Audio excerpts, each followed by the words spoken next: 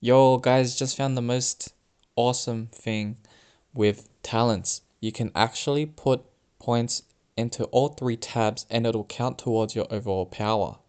So instead of just putting it all into one tab and then having it get really, really expensive really quickly, you can spread out your currency, your coins, and that way you can have a lot more power for the same amount of coins. So try to focus on just the three uh, general attack, defense, and HP boosts.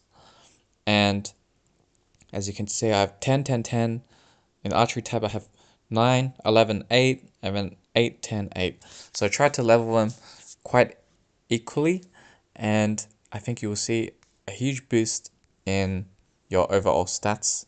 As you can see for me, I have 48,000 defense now, 8,500 million HP, 181 million attack. This used to be like 7,500 million HP and around 32,000 defense and like 170 million attack. So it's like a huge jump. So guys, if you if you do it, I think you're gonna be in a world of pleasure. Alright, see you guys.